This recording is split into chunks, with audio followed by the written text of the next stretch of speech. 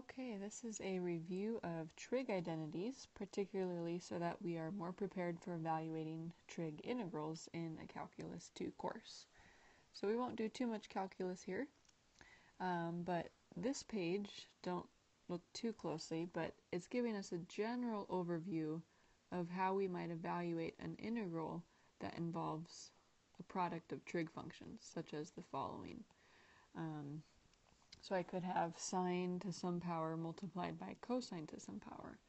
So in the midst of calculus 2, these four different items here would really be of great use to determine how we might integrate.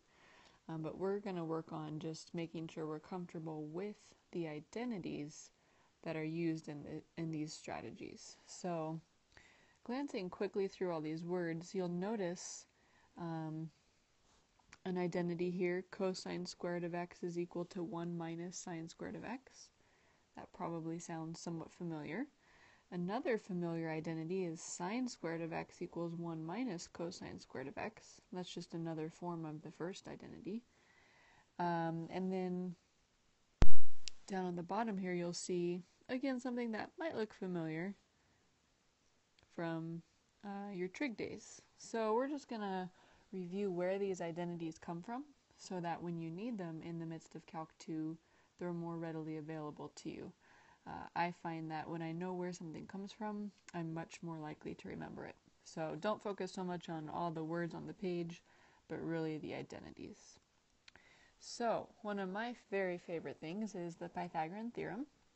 And just to remind ourselves uh, from trigonometry, if I go ahead and sketch a triangle in quadrant 1, doesn't really matter, but I'll put it here in quadrant 1, we can say that taking the horizontal value here, x, and squaring it, and adding to it the vertical value here, y, and squaring that, uh, will be equal to the length of the hypotenuse squared. And if I give our reference angle at the base here theta, Oops, that doesn't really look like a theta. Alright, that's a theta. Um, then shortly we'll see why we need that. But the Pythagorean theorem, as we know and love it, can be readily adapted to feel more like trig. And by that I mean if we take the Pythagorean identity and simply manipulate it by choosing to divide through by either x squared or y squared or r squared, we generate three identities that are commonly called the Pythagorean identities. So let's go ahead and divide every term by r squared in this case. So every term of the theorem gets divided by r squared. Cleaning up a little bit, um, x squared over r squared is really the same as x over r quantity squared. Similarly, y squared over r squared is the same as y over r, quantity squared, and r squared over r squared, of course, would just be 1. This is where our sketch at the right comes back into play. What we may recall from our trig days is uh, SOHCAHTOA, or the different ratios we have from trigonometry. So, um, if we thought about cosine, the cosine ratio is the adjacent side which in our sketch is x, divided by the hypotenuse, which is just r in our sketch. Similarly, uh, the sine ratio from trig was the opposite side, which is y, divided by the hypotenuse. So looking back at where we are with uh, this x over r kind of stuff, we can now replace x over r with cosine, Similarly, we can replace y over r with sine. And when we're squaring trig functions, another way to write that is just uh, nesting the exponent between the trig function's name and the argument. So more commonly we'd see this written as cosine squared theta plus sine squared of theta is equal to 1. And this, my friends, is probably the most well known of the three Pythagorean identities. In Calculus 2, you just want to feel very um, flexible with how you write this identity. By that I mean we may as well have written this identity as cosine squared of theta is equal to 1 minus sine squared theta. That would be from just subtracting sine squared from both sides. Or we could have just as well have said sine squared of theta is equal to 1 minus cosine squared of theta. So when we're talking about evaluating trigonometric integrals in Calc 2, probably these two, which I'll bubble off here, are most relevant. So this should all feel somewhat familiar, but hopefully it jogs your memory and makes you really feel like those Pythagorean identities from trig are accessible to you as far as where they come from. Um, so I like to think that I don't really memorize identities, although when you use them enough you remember them, but it's more like we really understand where they come from. So let's take a look at one other uh, identity from our trig days. You may or may not remember this one. I don't have this one memorized, but uh, it's the sum identity for cosine.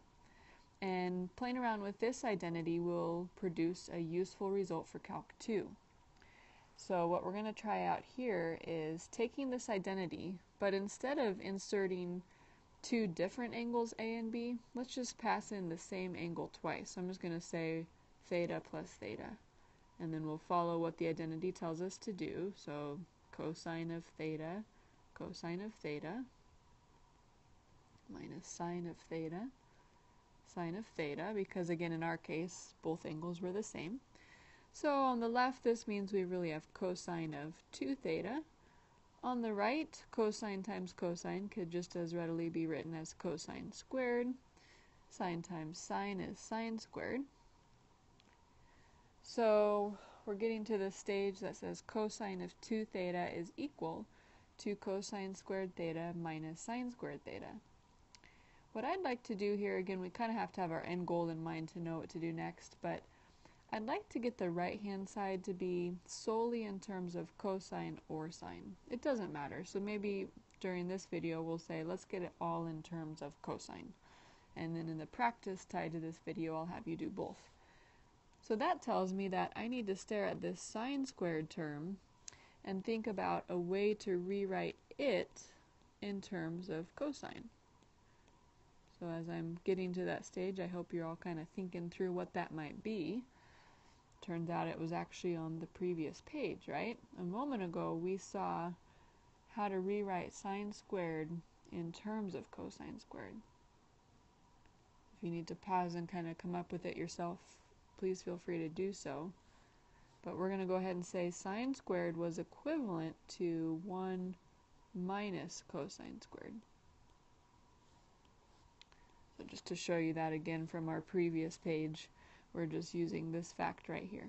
So cosine squared is the same as 1 minus sine squared. Oh, sorry, we're using this one. We're saying that sine squared is the same as 1 minus cosine squared.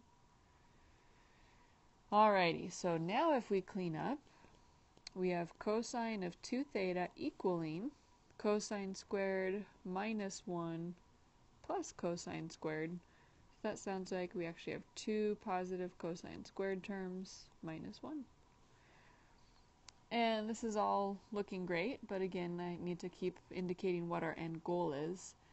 Now that I have the right hand side fully in terms of cosines, I just want to solve for cosine squared. So I'm going to say now that 2 cosine squared of theta is equal to 1 plus cosine of 2 theta just by adding that one to the other side. Oops, I was going to see if I can get some more space here, maybe. Nope, alright. So we're just going to go ahead and divide by 2, it looks like, and that would free up our cosine term. So we'll go ahead and say that cosine squared theta is equal to half of what we had, which was 1 plus cosine of 2 theta. I know that's written pretty tight, so we'll go ahead and move to the next slide to rewrite this. But what we just found is that cosine of 2 theta is the same as 1 half of 1 plus cosine 2 theta. Nope, cosine squared of theta. There we go. Alright, let's go back and make sure we got that all. So cosine squared of theta is the same as half of 1 plus cosine of 2 theta. Alright, there we go. Perfect. So this identity is going to be extremely useful in uh, Calc 2, but again, at least for me, it helps to know where it comes from. So what I'll have you all do in the practice exercises with this video is to verify um, that sine squared of theta is 1 half of 1 minus cosine of 2 theta. So you can try that on your own, basically using very similar process to what we did here. Um, all right, so let's end this by just doing a little bit of calculus because I know you probably wanted to do some. Um, since we're talking about trigonometric integrals, we know a little bit about integrating sine and cosine, but what is the integral of tangent? And this lends itself nicely to our discussion of identities because um, as it sits, we don't know the antiderivative of tangent, but we do know that tangent is the same as sine over cosine. That's just using our quotient identity um, from trig. And when we rewrite our integrand in that way, we now have more of a u substitution type feel, which is why I just wrote du a second ago. Sorry about that. So as we look at this and consider how to use techniques we already know, which really would be u substitution, if we let u be the denominator, then that means the derivative of cosine would be negative sine when taken with respect to x. So we could then rewrite this integral as we'd really have negative 1 over u du. So let's just match up our pieces real quick. We're saying that the denominator, which is cosine, is fully replaced by u. We're saying that sine of x dx is really the same as negative du. So the sine of x dx is being fully replaced by negative du. And this now looks like something we know how to integrate. So integrating 1 over something just comes back as the natural log of the absolute value of that something. This is indefinite, so we'll tag on plus c. If we back substitute, this means we have the negative natural log of cosine of x plus c. So that's one way you could write the integral of tangent. Another very common way to write this is actually to think about the negative out front of the logarithm. Of course, it's just a coefficient of negative 1. And log properties say that that can be thrown up as the exponent. So if I think about this as the natural log of cosine of x to the negative 1 plus c, that's just saying the reciprocal of cosine. And we happen to know that the reciprocal of cosine is secant. So the way we're writing it right here is probably in a textbook the way you'd see it written. Um, looks a little bit uh, more friendly because it doesn't have a negative. So just for fun at the end, we did a little calculus there. Uh, we now can say that the integral of tangent is the natural log of the absolute value of secant plus c. So hopefully you're loving trig, and we will get to some trig integrals very soon.